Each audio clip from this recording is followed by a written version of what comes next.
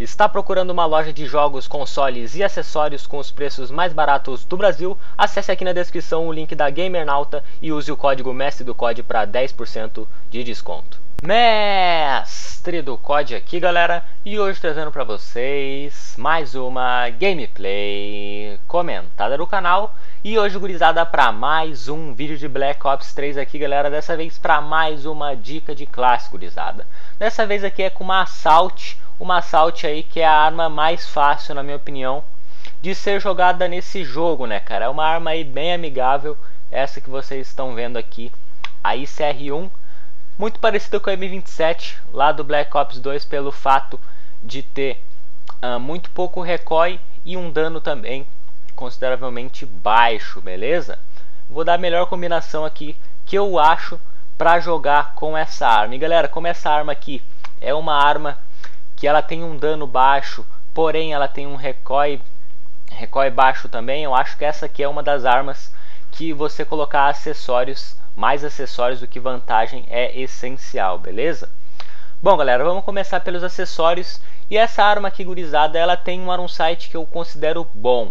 Porém, como ela tem um recoil baixo, a gente tem que usufruir disso, cara. Então, uh, nada melhor do que colocar uma mira aqui para ajudar ainda mais, cara. Pode ser que você ache que não é necessário, mas pelo fato de ela ser um recoil, ela tem um recoil baixo, é praticamente não tem recoil essa arma. Então com uma mira aqui, você vai aproveitar 100% dessa vantagem dessa arma, mano. Uh, aqui não tem uma recomendação que eu tenho para vocês. Uh, tipo, as melhores, né, que são essa aqui, o Reflex ou MLE, então vai da opinião de você escolher um dos dois. Eu particularmente gosto mais desse aqui, mano. Não sei por qual motivo, mas eu gosto mais desse aqui. Então, vou colocar aqui.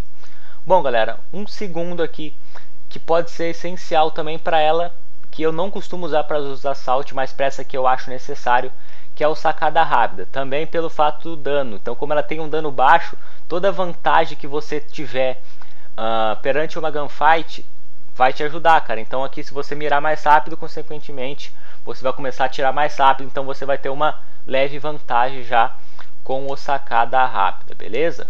O segundo que eu gosto de utilizar aqui é o coronha, para a gente conseguir se movimentar enquanto a gente estiver mirando mais facilmente, beleza? E um outro aqui, vamos desbloquear mais um aqui. Você pode escolher entre dois, tá galera? Ou você coloca os carregadores rápidos, caso você acha que ela demora muito para carregar. Ela não demora tanto, porém é uma desvantagem tu ter que estar tá demorando um pouquinho mais para recarregar. Normalmente aí tu precisa de bala, então vai demorar um pouquinho. Então você pode escolher entre os carregadores rápidos ou o alta cadência, beleza? Eu acho sim que a alta cadência ajuda.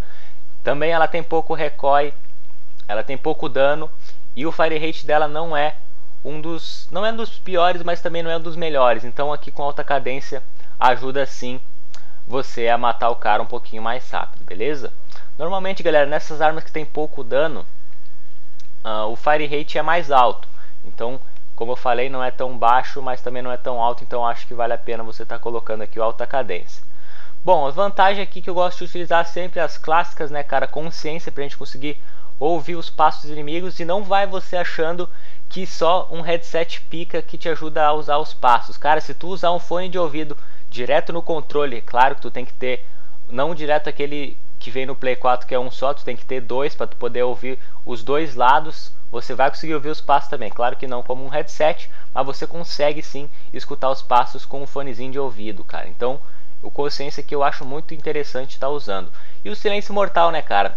Além de fazer com que os caras, os inimigos, né, não te escutem, o tipo, os seus passos também não vai não vai te atrapalhar de escutar os passos dos inimigos. E aqui no segundo, o essencial oportunista, né, galera? Que faz com que a gente pegue munição do chão. Eu utilizo a classe normalmente assim, ou eu pego e tiro aqui, coloco aqui o aposte alto, que você pode achar que não faz diferença, mas faz, para mim faz muita diferença aqui. Uh, e uso apenas sacada rápida e coronha nela. Caso você queira usufruir um pouquinho mais da arma, né, cara, que eu acho essencial você colocar o cadência aqui, que fica muito top, cara. As melhores gameplays que eu consegui com essa arma foi utilizando essa combinação, beleza? Então era isso aí, galera.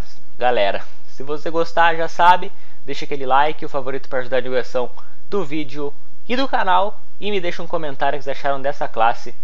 E também, galera, não se esqueçam de comentar aí embaixo combinações que você acha que é essencial aqui para arma, cara. Se você usa alguma outra coisa, comente aí embaixo que eu ficarei muito feliz de ver o seu comentário, beleza? Bom, galera, então no mais era isso. Vou me despedindo por aqui. Falou, até mais e fui!